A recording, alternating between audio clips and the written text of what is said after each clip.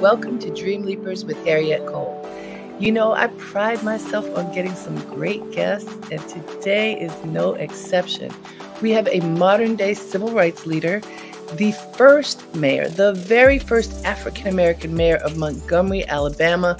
Hard to believe that it took all these years for there to be a first, but he is a deserving first, coming from an incredible family, incredible legacy of public service to his community and beyond. Let me tell you who he is. As I said, the first African American mayor of Montgomery, Alabama, he is Steven L. Reed.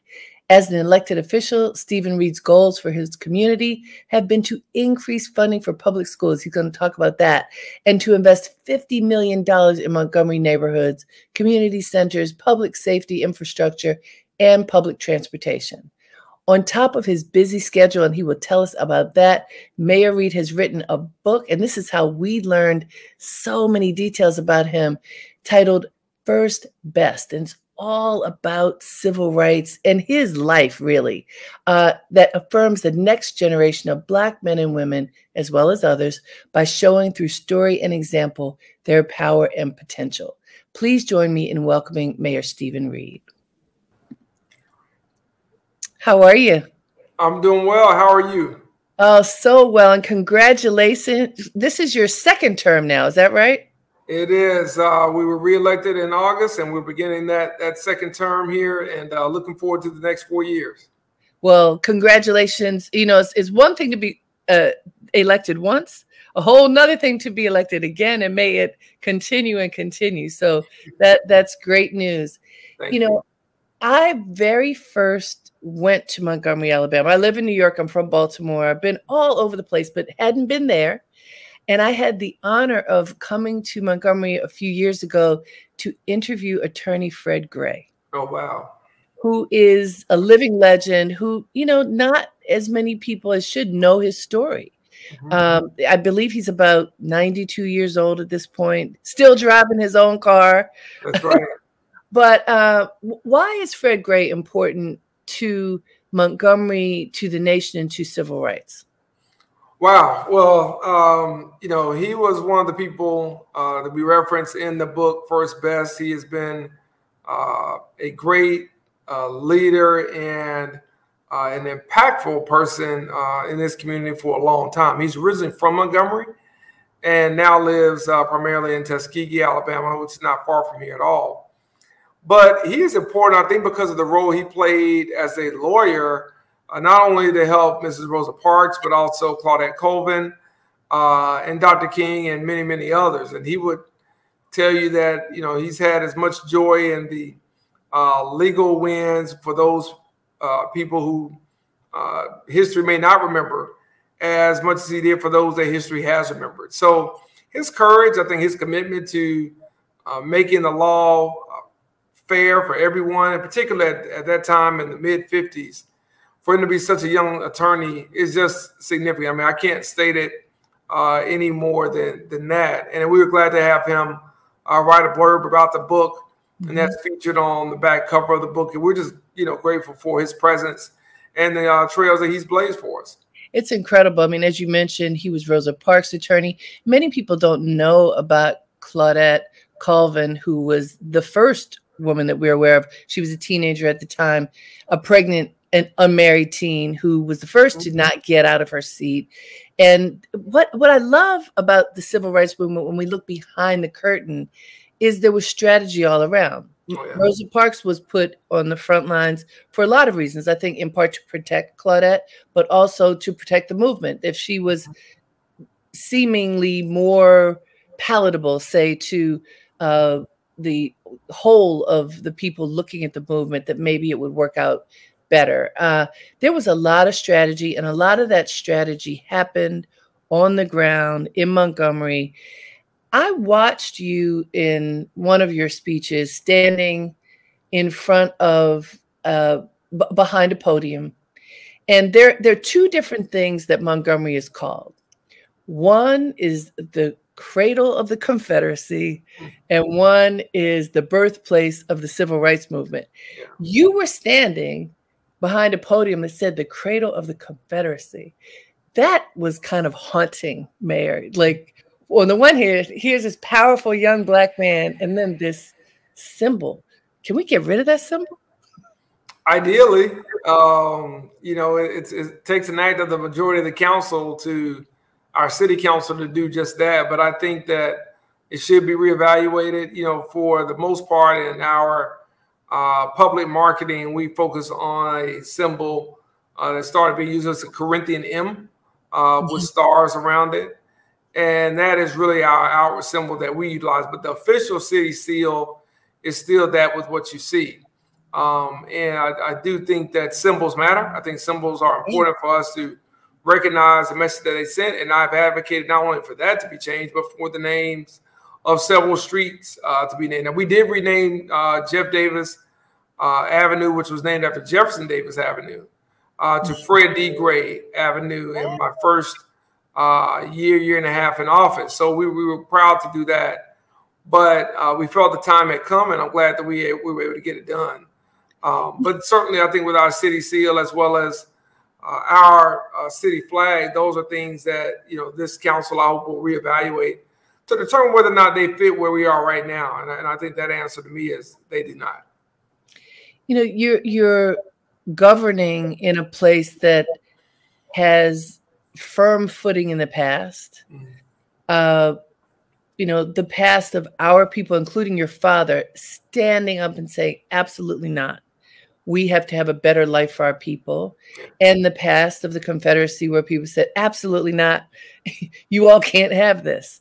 And in, in this year, in 2023 and moving forward, you are in this interesting space as a new leader, yeah. you know, of the new South, mm-hmm. uh, doing your best, obviously, to care for everyone, but you know, the, those seeds of the past are still very much alive. Oh, yeah.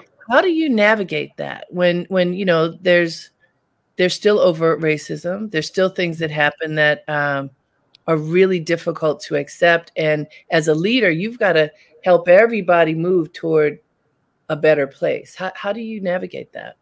Well, I think that we have to make sure uh, we recognize the, the past and how we got here. You know, what does the uh, makeup of this community look like and sound like? Well, it looks and sounds uh, the, like the way it does because of things that have happened in the past. At the same time, you know, from my standpoint, we try to uh, be, you know, future focused and we try to address those things that are present day. And I think the balance comes from, in particular for me, I, am from Montgomery. The last several mayors have not been born and raised. I'm the uh, only one from the you know, public schools to graduate the public schools, certainly in the last 40 plus years. Um, so I have a little bit more uh, credibility when I speak on things here than maybe some others did. Uh, you know, these aren't things that had to be interpreted to me. These are things that I grew up and I understood as well as learning from the elders, uh, you know, of this community. So we talk about how do we move forward together as a community? How do we focus on the things that bring us together, but how we have to make sure we're addressing the things that have kept us apart and continue to keep us apart. Mm-hmm. And I think in today's national uh, political discussion, uh, that's a lot harder to do. But it's something as a mayor we continue to try to do, uh, but to tell the hard truths when we have to. And if we have to be uncomfortable uh, with change, then we have to be uncomfortable with it. And that's what we try to project. One of the things that I read in your book that, uh, and, and let me just say, the book is a, an incredible history lesson beautifully told stories about you, your family, the country, the con- context all along the way. So it really is an incredible history lesson. And I encourage people to read your book because you learn a lot. And what what is particularly interesting to me is, you know, a lot of people who are interested in civil rights are interest are paying attention to the past, uh, you know, the history, the all of the things, especially if you look at Montgomery, it's all the things that happened before in your father's generation, right? In your father's generation and before. And he, in fact, was an incredible man who was a trailblazer in Montgomery.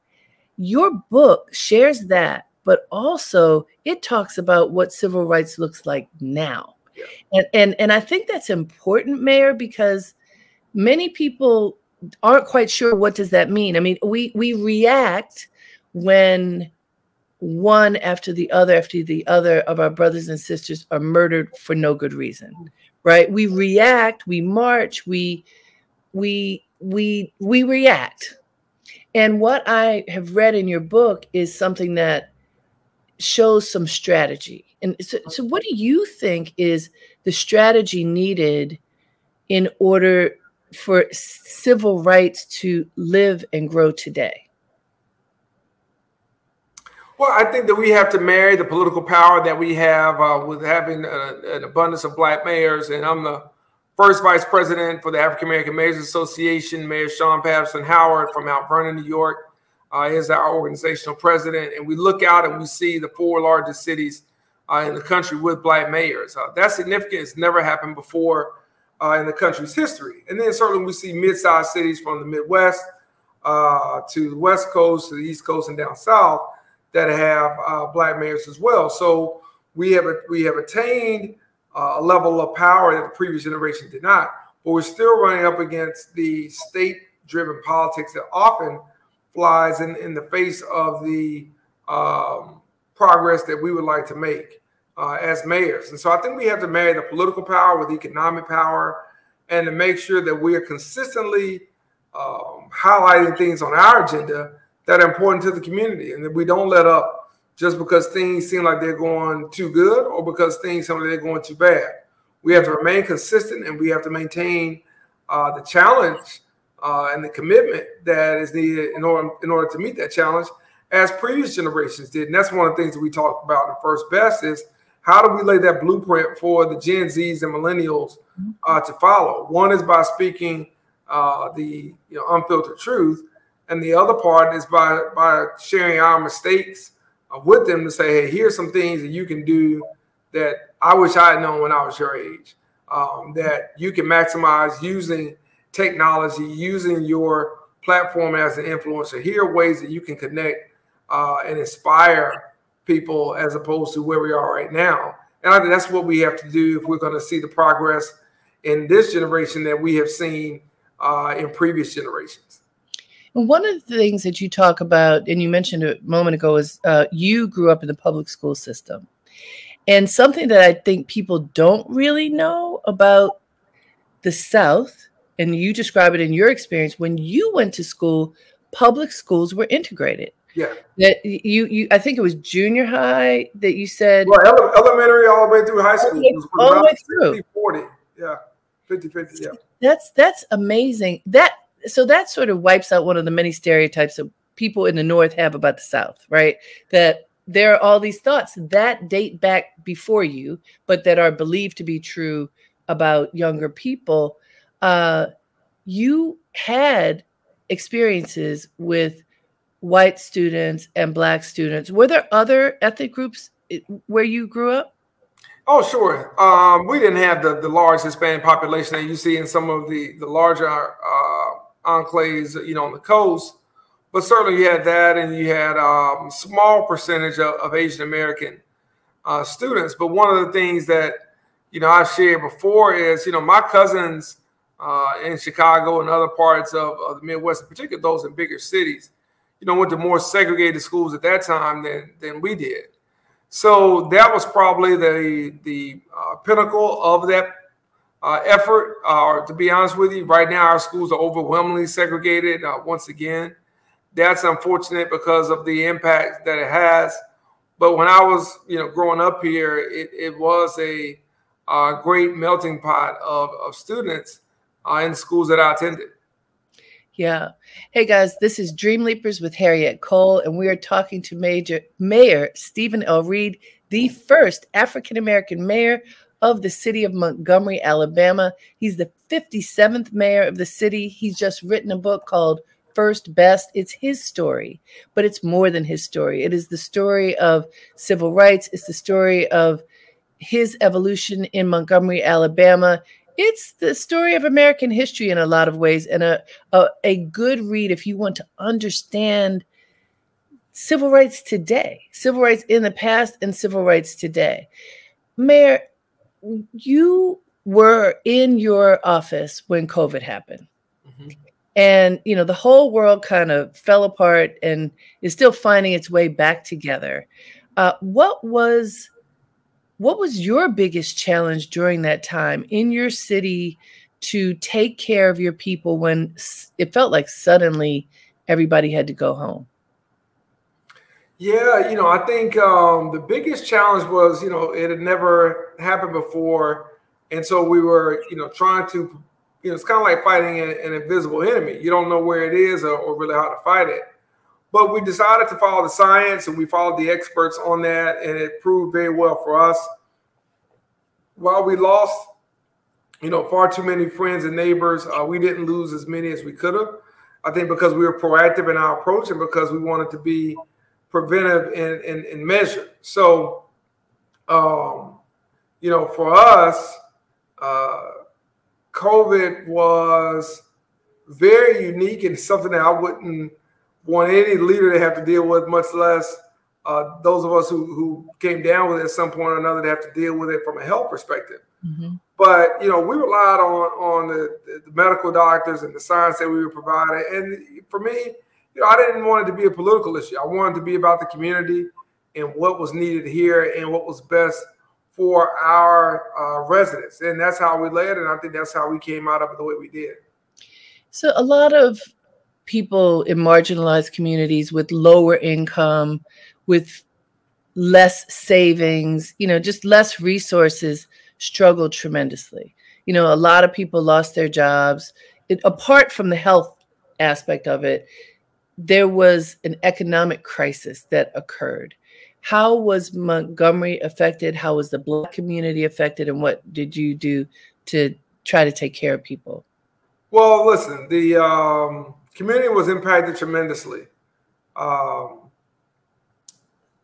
black businesses were hurt uh, disproportionately. Uh, we did not receive the level of financial uh, assistance that was needed. And while we tried to push uh, a number of initiatives and programs out there, it was not enough mm-hmm. um, ultimately. And so, you know, we're still recovering from that, uh, and we're still, you know, trying to make sure that um, we put guardrails in place so that the next time something, hopefully nothing not near as serious as COVID happens, we have that safety net there for our businesses and for those entrepreneurs that give so much to our community. Truly, truly was, uh, you know, a hard hit. And when you look at it from the health perspective, again, it was a challenge there. It was a challenge in particular black community because uh, access to healthcare is already an impediment to so many, uh, you know, low, uh, low income and working class uh, Americans, and certainly those that in the African American community. That just made it a lot harder, and it was a, a major challenge, but one again that we worked with our healthcare providers, um, our hospitals to try to do everything we could uh, to make sure we reduced whatever barriers uh, that might be there. And I think that, along with outside philanthropic support that we received, uh, that we went after, and partnerships, really helped us minimize what what could have been a major, major uh, catastrophe in a scale much larger than it was. Mm-hmm. You made the decision to go into public life somewhat reluctantly. You you grew up in, in your book describes it beautifully. You know, like riding in the back of the Oldsmobile with your daddy, right? And, and and going to all of these political events and having your eyes open to what was going on in the world. Certainly having respect for it, but that was your daddy's role. That was his lane, right? Yeah. And you decided to uh, try another lane, which was business. Uh, and first, tell us about that exploration of, of, of, you know choosing a different lane. What made you make that choice? Like because you describe it in your book. Why did you choose not initially to follow in your father's footsteps? You know i kind of i think i put it in, in the book that you know i was the other pk you know you're, you're a preacher's kid or you're a politician's kid. Mm-hmm. you either love it or you hate it. And i think i was on the uh part of, of Haiti and really wanting to, I really wanted to have my own identity, not be, you know, my mom and dad's son, so to speak. Um, and that's why I went to school out of state. That's why I was so heavily involved in sports because none of those things really mattered there. Um, but, you know, I saw the, the sacrifice my parents made. I saw the impact they had on the family. And I think when you're that close to it, sometimes, again, you uh, rebel against it. And that's what I did initially. And, you know, from my standpoint, it was one of those um, areas that I thought that we had capable, you know, leaders in. And I didn't think we had a lot in businesses. I tell people this all the time. You know, we didn't have a John H. Johnson here. We didn't have a major luminary at the time that I was growing up. Uh, Dave Bing, you have in Detroit, obviously H.J. Russell in Atlanta, um, and and others that, that stand out in a lot of you know areas. We've got a few more now. A few more came after, but there wasn't that corporate presence. And I grew up with an understanding of you know money making a difference and a need you know for that. Uh, and I just thought that you know there that it, there were a lot of people that were in politics that could you know bring about substantive change, um, but I was mistaken. Uh, there are a lot of people in politics, but not a lot of people who can bring about substantive change. And I think when I came back to Montgomery after living uh, in, in other cities, I was you know really frustrated with uh, the lack of progress that we had made. It really was, and I was a little, you know, disappointed that you know the community had not gone any further. And uh, I think between that frustration and sort of the inspiration of President Obama starting to run uh, in 2007, and certainly by the time his campaign kind of hit its stride in 2008, I was looking at public service through a different lens. And I mm-hmm. referenced that in First Best when President Obama, then Senator Obama, came to uh, Selma to speak at one of the anniversaries for the uh, Selma Montgomery uh, March. And one of the uh, lines in his speech was there's a poverty of ambition in doing things just for money. And that was something that really hit me uh, in a different way than I think uh, anything else.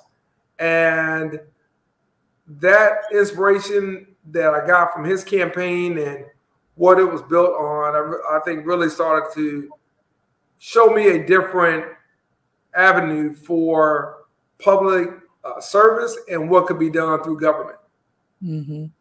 And doesn't that take you right back to the backseat of your daddy's car? Because your father lived that life. He, yeah. you know, he. Tell us about your father. Well, my dad is um, 85 years old, so still still uh, active and uh, very you know vibrant in, in his approach to, to things. Still active politically though not elected.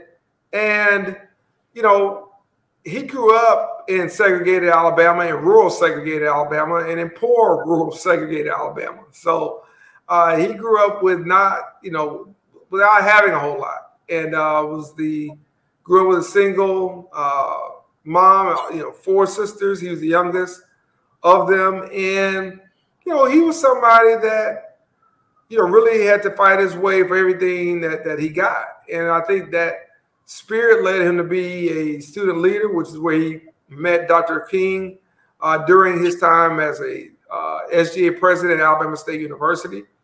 And that led him to leading the Black Teachers Union at the age of 26.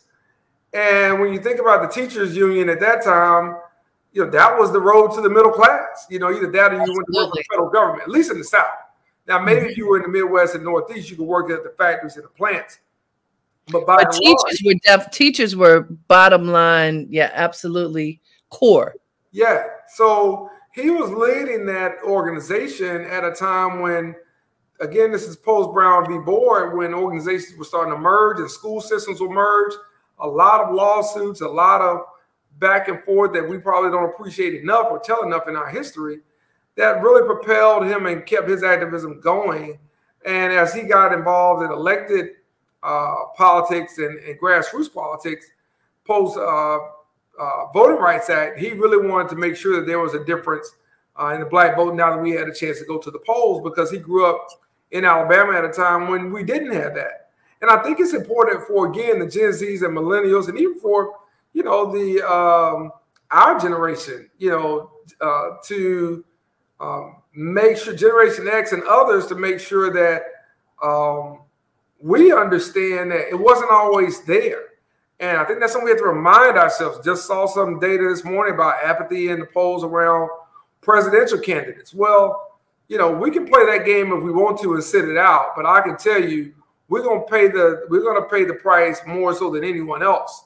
And whatever, however bad it is, it can get worse. Uh, we haven't hit bottom yet. So I think that because of his experience, he was active and was, you know, really committed to bringing about substantive change. And that was something that, you know, not a lot of people really want to do. Most people just want to manage. They don't want to lead. Uh, they want to maintain the status quo as opposed to shake it up. And my father has always been that type of person. And I think, you know, continues to be, but also I know that he is still that in all of us, uh, my brother and sister as well, as well as other family members. So your father, for anybody who doesn't know, is Joe L. Reed. And as an elected official, what what were his roles? Well, he was um, he was part of the first Black City Council group that came in the Montgomery in 1975. Right. When Montgomery went from a mayor commission form of government uh, to a mayor council form of government. Mm-hmm. Very different, gov- you know, government. You got districts. Montgomery didn't have that until the, the 70s. Again, when we think about the Voting Rights Act, you know, we, we tend to think of these things as being always there, and they were not. And and they're being threatened at this exact moment. And they are. And I think it's important for us to understand that. So he served as a city councilman for about 20, uh, 28 years or 26 years, something like that. And uh, right here in Montgomery. And, um, you know, he probably made more impact, though, as a leader of the Alabama Democratic Conference, the ADC, which is the Black Political Caucus here in Alabama with a statewide network. And that's probably been more of the larger impact because through that, he was able to uh, endorse and support Democratic candidates at a time when Dixiecrats in Alabama were turning into uh, Southern Democrats um, with a much different philosophy and embracing uh, the black vote. And mm-hmm. that was really pivotal in the 70s and 80s and even into the 90s for that matter. Yeah, um, he he was a powerful figure in his work life, and it's amazing. It, he's 85 and still doing his thing, and and I'm sure being an incredible advisor to you. When do you call on him? How what what are those times when you pick up the phone and ask for his wisdom? You know, probably when there's a dilemma I have of, you know, should I, you know, should I choose one option over here or another option over there? And mm-hmm. uh, what's the best way? Sometimes it's none of the above. You know, mm-hmm. sometimes he'll say, well, you know, have you thought about this? Have you looked at, you know, this situation? These are the things that you want to consider when you're trying to make a choice. So um, I call on him for things like that. And, and then sometimes he'll call me offer unsolicited advice uh, when he thinks he needs to as well. so there was an incident not too long ago on the barge, right? Uh, in Montgomery. Like, here's Montgomery again in the news because some knuckleheads start a fight and attack uh, black men on the barge. Can you tell us what happened and how you were able to jump in and and try to squash the situation and handle it? Yeah, let me let me tell you this. You know, post George Floyd, I don't know, and post pandemic, I don't know there's anything you know, that you aren't ready for now as a mayor. Uh, if you're a true leader, right? So uh, I've been asked, you know, what was the most, you know, tense time? The most tense time was, in, in my mind, was probably um, the George Floyd incident. Sure. Because that happened in such a short window, right? It went from zero to a hundred, you know, you know, real quick. Versus with COVID, we had a lead up to that. We were able to prepare for COVID. So when you get to the the riverboat brawl or whatever it's called, yeah, you know, where where you live, that was something that um, the first thing I thought about was, you know, well, first, you know, were there any weapons used? Did mm-hmm. anybody get shot or stabbed? Was anybody seriously hurt? So once we kind of got past those things, I was, you know, I'd come down a whole lot by then, right? But I had just left that area probably no more than 30 minutes because not far from there, we were having a back to school event for our public school kids and, and their and their parents. Mm-hmm. So when we got the call over the police radio, I was like, what is this? What? and I and I really didn't quite, you know, understand the gravity of it because it just seemed like it was a fight that was getting bigger and bigger. So, you know, once we kind of heard that, all right, it got under control and there were no weapons used, I was like, okay, well, on to the next, uh, you know, crisis. And uh, it wasn't until the next day that I saw the video. Mm. And when I saw the video on social media, then I was like, oh, wow. And I called the police chief did, and I was like, have you seen the video? And he's like, yeah, we got our own, but it was it was our video, the, the cities, which shoots from the dock. So it shoots out into the water, right? So you didn't really see everything that was happening. It wasn't until he saw whatever the world first, right. you know, from those that were on the boat shooting back towards the dock, you could really see what happened. But essentially, you know, what took place were some uh, you know, inebriated, you know, folks who you know impeded a, a, an employee from doing his job and trying to dock a boat, uh, said some things they didn't, they shouldn't have said, and has come out in testimony, uh, regretted you know what they did, and that's what started the the melee or the brawl or whatever it is, and uh, I think it was a lesson, you know, learned uh, you know from a lot of different angles. I certainly think that it took hold for reasons because people were looking for something, uh, particularly in, in, in heavy times like we're living in right now, to say, this is how I feel about things. Mm-hmm. Mm-hmm. This is what I would like to think I would do. And this is what I would like to think others would do when confronted. So you had all these analogies, all these metaphors out there. And I think because of that, uh, the incident itself took on, you know, something that even I didn't imagine it after seeing it that first uh, first few times. I mean, it took me literally uh, several times from the young man jumping in the river to others, you know, coming to uh, the aid of, of, of, the dock worker to, to really understand that. And I think that's really what we got, you know, from that. But for us, it was something I'm glad did not end, you know.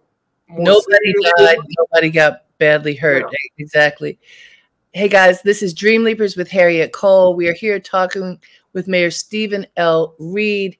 He's talking about his life, about Montgomery, and he's written a book called First Best that's about his life, about his journey, about his dad, about the civil rights movement of yesteryear and today.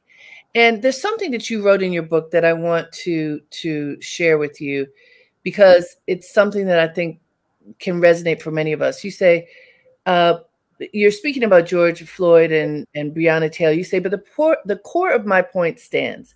As my father said many times, you want to remember that the hottest place in hell is reserved for those who maintained their neutrality in a time of moral crisis. That's powerful. Yeah. Being neutral in a time of moral crisis. So we certainly are living in a time of moral crisis. What advice do you have to folks today as they're living their lives, as they're going through their struggles, whatever those might be? What does it mean to step up and to stand up for what you believe in in these days and times right now? Well, I think it's important uh, because you know I talk about this quite often not only in the book, but also you know, when I'm giving remarks about those ordinary people who changed things against extraordinary odds.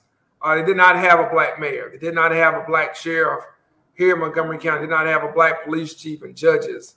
And what they were able to do, and not just here, across the country and other uh, uh, movements that, that took place, I think is nothing sh- short than, you know, of a, I don't want to call it a miracle, but it's just something that we should not underestimate because in real time, without technology, without uh, the things that we benefit from now, from communicating to the strategy you mentioned earlier, mm-hmm. they were able to do these things. And so I think right now uh, we have to stand up for those things that are important and not worry about cancel culture or, or anything else. And I don't.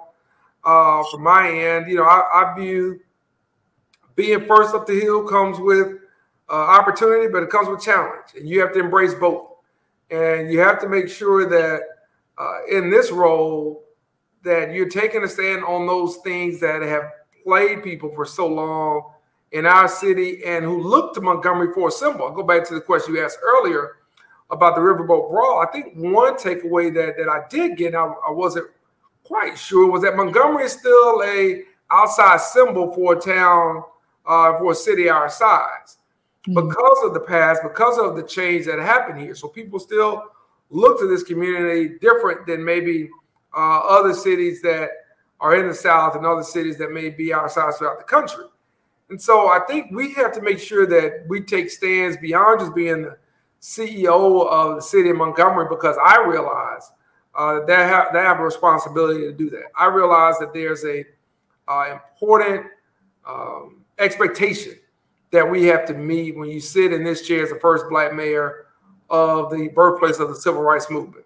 It mm-hmm. comes with uh, responsibility, and I recognize that, and I, you know, treasure it. So uh, I think for us to take stands, when we see things happen in politics, when we see things happening on Wall Street, when we see things happening uh, Supreme Court and other places, is important. And even in our own community, we have to make sure we're taking those stands because that's what uh, has gotten us to the progress that we made in so many, many years has been taking those stands, whether they be popular or not. Mm-hmm. You are married and have three children. Is that right? Yes. So, as a husband and father, and also the leader of your city, what are the what are the values that you think are important, not just for your family, but for the city? You know, you just mentioned Montgomery has a special place in many people's heart and understanding. You know what you you in your book so this your book is really good. I want people to read your book. And you tell so many uh, there's so many lines in there from your mother and your father that live in your head and in your heart and you're sharing them all the time. What are those lessons that you are sharing with your children that are important for the city of montgomery and, and beyond well i think that you know was my mother and my father given how they uh, grew up and given the uh, era in which they grew up, it's very important to keep things in, in perspective. And I try to do just that. And I try to share that with, with my children and other young people that I may uh, mentor or come in contact with. It is to make sure that, you know, we as a value system for what we do. You can't put a price tag on everything. We cannot make everything about clicks and likes and shares uh, or just about how much we can get paid. We have to make sure that we're making a difference and that we're doing things for the right reasons, and that we have a certain conviction about uh, why we're taking on certain battles, why we are taking on certain challenges. And I think it's those things that I take away from my parents that I try to share uh, with young people. And again, I want Gen Zs and millennials to hopefully have this book as a blueprint for how they lead now how they influence now, not that they have to wait till they are in an executive position or a position of management. They can lead right now from where they are. And I think, you know, the example that my parents always share with me is to, uh, you know, be who you would want uh, others to be to you. Be that to them. That is a help them be that to them as you would want them to be for yourself. Uh, make sure that you know we don't compromise our value system and that we appreciate it for all that it is. And I think uh, when I share that with my uh, daughter and sons, they don't always understand it, always appreciate it. Probably much like I didn't either at the time. But I think it's something that you hold it still in them. So when they are faced with decisions day in and day out, they can make uh, the right ones more than the wrong ones most of the time. It, it, what's interesting in your book is that you give a lot of examples of lessons. It's not like you just came to be this refined person who's sitting, you know, on the throne, so to speak, of, of the role of mayor, but you talk about some challenges you had and people who kind of stepped in to help you see, mm, you know, uh, you got to shape up. If you don't shape up, the, the, the outcome is going to be different. What is the importance of mentors for, for success? Yeah, I, I don't think one can uh, undervalue mentorship, whether it's formal or informal, uh, whether it's teachers, coaches, uh, you know, faith leaders uh, in your midst, or neighbors, or, or, family and friends. All of those, I think, are important. And you know, I like to say I'm a composite because it truly does take a village. And you try to take each piece, try to take a piece from somebody you come in contact with to kind of help you improve yourself and to be more self-aware. And you know, from my standpoint, I think that uh, mentorship is important. Even now, I have mentors. So mm-hmm. at my age, at my stage now, I have mentors, and I hope as a life learner, I'll continue to have them because they are professionals and they are people that I look up to, uh, regardless of their station or class. That I say I can learn something from, and I, I find to have wisdom uh, and a level of, of acumen and things that maybe I don't have in certain areas. And so that's important. And I think it's important for us to understand that we can all help someone. Sometimes it's a peer. It doesn't have to be someone younger. Sometimes it's a peer. Sometimes it is someone that's of a different generation. But we can provide that level of mentorship to them uh, that will help them not only where they are, but where they want to be. You talk in the uh, your book really in particular helps to uplift young men, young black men. I think it's for everyone, but in particular, you have emphasis for young men. And you say something when you were growing up, your father talked about wearing the crown and bearing the cross. And there, there was a reach that one had to make in order to try to get to the crown, like that, that you all were raised as kings. And how do you reach the crown, but also bearing the cross? Can you describe what that means? Yeah, you know, for us, I think that my dad's point was, you know, don't just worry about the glory. Uh, put in the work, do the work, right, and be willing to um, pay a, a price for the work. So that bearing the cross is really about the work, and then the challenge that comes with doing the work. Even for those you're trying to help, even for those who who uh, may not understand, do the work, and let's uh, make sure that you aren't focused on where you're trying to go so much that you forget about the sacrifice you have to make and the purpose of which uh, you should be doing it. And I think sometimes that can kind of get a little bit out of whack in today's social media environment that we can focus so much on image and appearance uh, that we forget the substance and we forget what truly, truly matters uh, in this space. And I think that's a uh, lesson all of us can learn, regardless of, of generation. And so it's fine to, to attain some of the glory, but it cannot and should not come at the sacrifice of the work. And you have to be willing to bear the sacrifice that comes along with that, just as you're willing to wear uh, the glory and the accolades that come along with success.